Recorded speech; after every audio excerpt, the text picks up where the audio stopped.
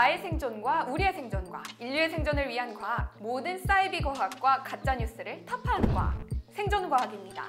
여러분은 지금 사이버 시대를 살고 있습니다. 사이버란 현실 세계가 아닌 컴퓨터와 인터넷으로 만들어진 가상의 공간을 말하는데요. 1940년대 노버트 위너가 목적을 위한 메커니즘이란 뜻으로 사이버네틱스란 용어를 처음 사용했고 1984년 윌리엄 깁슨이 쓴 과학소설 Neuromancer에서는 사이버 스페이스라는 용어가 처음 등장했습니다. 우리는 지금 사이버 시대를 살고 있지만 사이버 세상은 안전하지 않습니다. 최근 사이버 보안 문제가 심각해지면서 궁금증이 많아졌는데요. 오늘은 사이버 보안에 대해 살펴보겠습니다.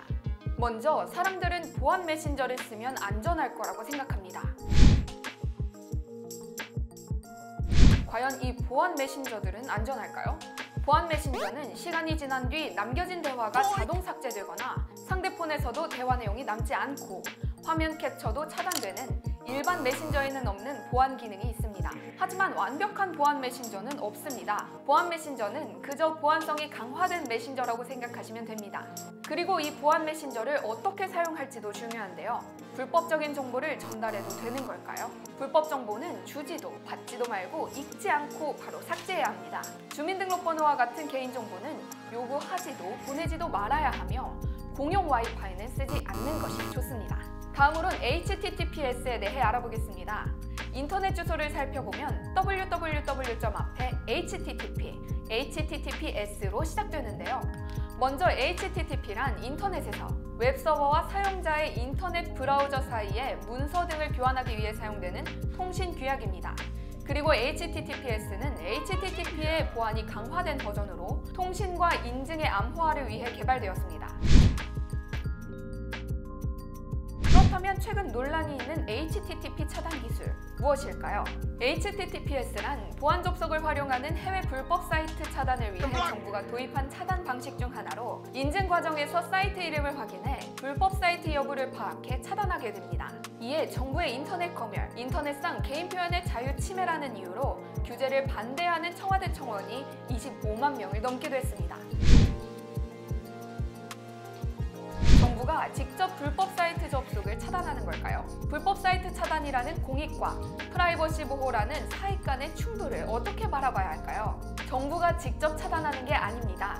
사이트를 차단하는 주체는 인터넷 서비스 공급 업체입니다. 정부는 심의를 통해 불법 사이트를 지정해 ISP 사업자에게 전달하고 사업자가 해당 사이트 접속을 차단하게 됩니다. 이러한 공익과 사익이 충돌할 때 우리는 어떻게 해야 할까요? 일단 이러한 인터넷 필터링 정책에 대한 논의는 공론화할 필요가 절실합니다. 기술 및 관련 법 제도를 대한 이해를 바탕으로 토론을 해야 하며 충분한 국민적 공감대를 형성해 나가는 일이 중요합니다. 다음으로 CCTV를 알아보겠습니다.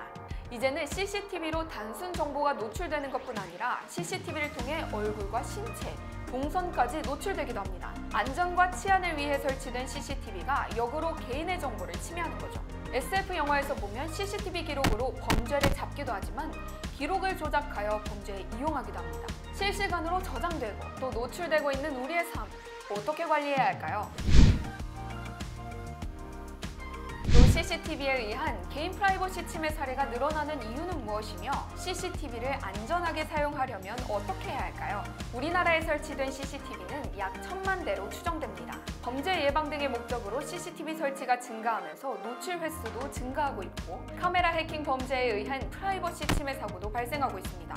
CCTV가 공공장소와 집 내부 등 개인 생활 공간에 설치되고 또 활용되면서 사생활 노출 위험도 높아지고 있습니다. 이렇기 때문에 CCTV의 최초 설정된 비밀번호는 반드시 변경하여 사용해야 합니다. 기본 비밀번호는 0000, 1234와 같이 추정하기 쉬운 번호라서 보안에 취약합니다. 지난 2019년 2월부터 공공 CCTV 등을 처음 설치할 때 사용자가 직접 비밀번호를 변경하고 설정해야 기기가 작동하도록 하는 제도가 시행됐고 민간 CCTV로도 확대 적용될 예정입니다. 또 대부분의 민간 CCTV는 인터넷망으로도 연결되어 있어서 언제 어디서나 접속이 쉬운 상황입니다.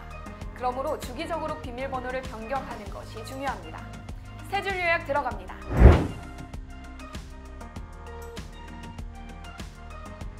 이상으로 사이버 보안에 대해 정리해드렸습니다.